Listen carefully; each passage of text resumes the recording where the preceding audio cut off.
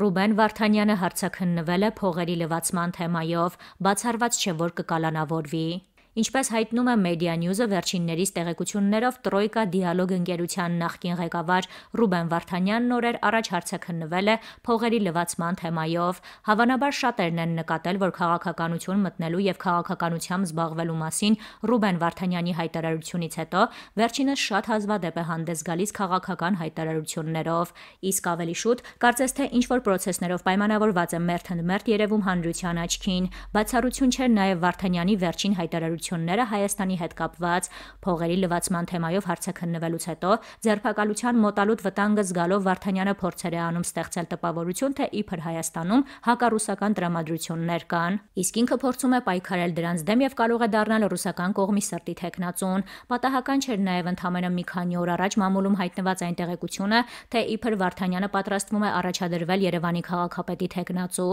Այս կերպ Վարդանյանը փորձեր է անում կերտել սեփական անձից քաղաքական կերպար միաժամանակ ժամանակ օգնություն աղերսելով ռուսական կողմից, որպեսի հետագայում իր հարցաքննությունը ու բացառված չէ նաև ձերբակալությունը որակի որպես քաղաքական հետապնդում։ Հիշեցնենք, որ դեռևս 2019 թվականին Եվրախորհրդարանի 22 падգամավորներ նամակ են հղել Եվրոպական հանձնաժողովի նախագահին հորդորելով անհապաղ միջոցներ ձեռնարկել տրոյկա լվացքատան մեջ ներգրավված երկու անձանց՝ Ռուբեն Վարդանյանի, Տրոյկա դիալոգի ղեկավար եւ Վլադիմիր Ռոմանովի Յուկիո բանկի նախկին նախագահի նկատմամբ պատժամիջոցներ կիրառել կիրառելու նպատակով Վարդանյանի Տրոյկա լվացկատանը մանրամասն անդրադարձել էր նաև հետք պարբերականը, որտեղ նկարագրվում էր թե ինչպես է Ռուբեն Վարդանյանի ընկերությունը փողերի լվացմամբ զբաղվել։ Իդեպ Հայաստանում սա նոր պրակտիկա չէ, մինչ Ռուբեն Վարդանյանը ձերբակալության մոտալուտ վտանգ զգալով շատերն են փորձել սեփական անձից կերտել քաղաքական կերպար, ներկայանալով ազգի փրկիչ եւ միաժամանակ օգնություն աղերսելով ռուսական կողմից, չնայած որ փողերի լվացման մեջ մեղադրվող Ռուբեն Վարդանյանը ճունի եւ ոչ մի շանս անգամ հասարակ գյուղապետ դառնալ ստանալու։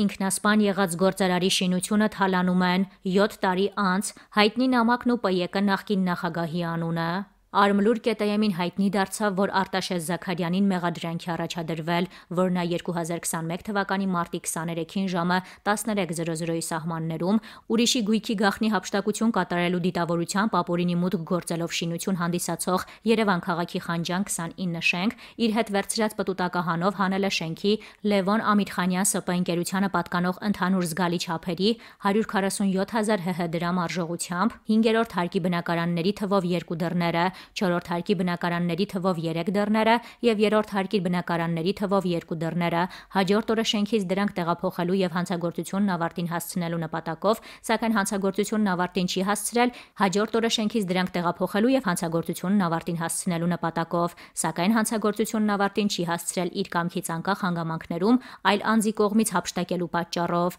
Հիշեցնենք, որ 2015 թվականին փետրվարի 16-ին ժամը 10:40-ին նոր հաճն ԲԿ-ից հաղորդ հաղորդում է ստացվել, որ նոր հաճն քաղաքի Պարքևաշեն թաղամասում տանը սենյակում մահացած մարդ կա, զենքը կողքին։ Պարզել են, որ նույն օրը ժամը 08:30-ի սահմաններում 61-ամյա Համլետ Ամիրխանյանը, ով Լևոն Ամիրխանյան ՍՊ տնորենն է, նոր հաճն քաղաքի նշված հասցեում գտնվող իր առանձնատան ննջասենյակում ինքնասպանություն է գործել ատրճանակից կրծքավանդակին կրակելու միջոցով։ Դիակի կողքին հայտնաբերվել է Վիկինգ մոդելի գործարանային համարի ատրճանակ, պահունակով 3 հատ փամփուշտ, տուժածի բացի հագուստների միջից 9 մմ դրամաչափի մեկ պարկուճ, դեպքի արդիվ հարուցվել է քրեական գործ քրեական օրենսգրքի 110-րդ հոդվածի հատկանիշներով, այն է ինքնասպանության հասցնելը։ Իդեպ ինքնասպան եղած գործարարը նամակ էր թողել եւ այն վերագրել այսպես. հրեշը։ Ավելին, Արմլուր կետեյեմի հավաստի տեղեկությունների համաձայն նամակում նա նշել էր նաեւ ՊԵԿ նախկին նախագահ Գագիկ Խաչատրյանի անունը։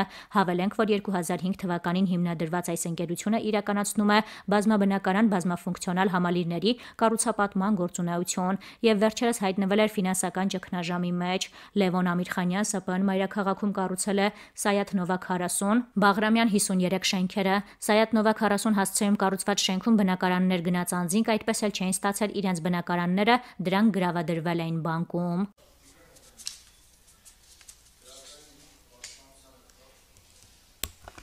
Գրակային պաշտպանության հետ կապված երբ որ նշեցիք, ինքը իրականում կարծում ողջ ծավալով պետք է իրականացվի, որովհետև հատկապես մեր նման երկրների պարագայում եւ հատկապես հաշվի առնելով այն հանգամանքը, որ նաեւ դուք էլ ընդհանուր զինված ուժերում եւ ընդհանուր նպատակներում գործառույթներ ունեք, դա շատ ավելի հաճախակի բնույթ պետքա կրի, կարծում նաև պետքա պլաններով նաև արձանագրված լինի։ Մի քանի կարճ հարց եմ ուզում ձեզ ուղղել բնականաբար հետ պատերազմյան իրավիճակում լրիվ նոր իրադրություն է, հա, հատկապես այն բնակավայրերի համար, որոնք այսօր ըստ էության դարել են սահմանամերձ։ Այս տեսանկյունից օրինակ դե բնականաբար Գեղարքունիքը, Վայոզորը, Սյունիքը այստեղ առաջին պլանում են, այնտեղ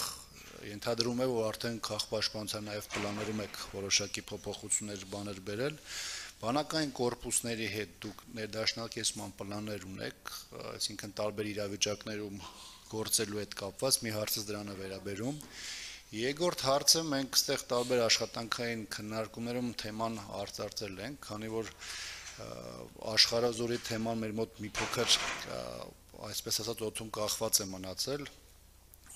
ես նաև Վիլեն Գաբրելյանը այդ սխալվում եմ հետագայում կուղի որոշակի կարծես գաղափարներ ունենք եւ աշխարհազորի հետ կապված հարցը այս փուլում նաև տեսնում էինք հնարավորությունը նաև այնի ներքո, որովհետև որտեղ պաշտպանության նախարարությունը որոշակի այլ մոդելների ոնց որ քննարկման է գնում, մասնավորապես տարածքային պաշտպանության մասով, ինքը մի փոքր հում թեմա է, բայց դուք այս իրավիճակում նաև ձեր գործառույթները տարբեր իրավիճակներում իրականացնելու մասով աշխարազորի հնարավոր ներգրավվածության հարց ձեր դեպքում տեսնում եք, թե դեր չեք տեսնում։ Շնորհակալություն, պարոն Աբրամյան, սկսեմ վերջից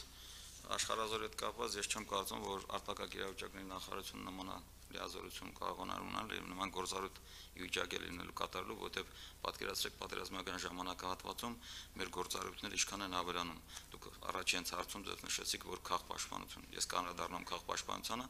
հենց մեր առաջի խնդիրներից մեկը պատերազմական իրավիճակում լինելու է քաղաքապաշտպանության խնդիրները։ Երկրորդը լինելու է մեր դիակների եւ նաեւ ինչու՞ չէ առաջին դեպքում վիավորների մարտական գործողությունների շրջանից դուրս բերելու տեսակ որ պատերազմի ժամանակ դիակների դուրս բերման աշխատանքը ամբողջովին դրված էր մեր նախարարության փրկարարծառայության ծառայությունների վրա եւ բացի դրանից նաեւ անհրաժեշտության դեպքում հրդեհաշիջման աշխատանքներ նույն Սյունիքի տարածքում տեսանք ինչպես այդ հրաձգության կամ հրետակոծության արդյունքում ունեցան կանտարային հրդեհներ եւ բնականաբար մեր աշխատակիցները նախկինում ես որպես զինվորական եմ տեսել, այսօր արդեն մեր աշխատակիցները, փրկարարծառավները այդ պատերազմական ժամանակահատվածում հրետակացության արդյունքում եւ նաեւ դրա վիճակում կատարել են հրդեհաշիժման աշխատանքներ եւ բացի դրանից նաեւ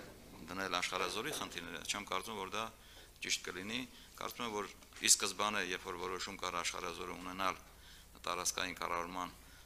նախարարության կամ մարզպետարանների ենթակայության տակ, եթե մենք կարողանանք ավելի լավ մշակում ավելի լավ կարգավիճակ ունենան, կարծում եմ, որ դա աշխատող տարբերակ կլինի։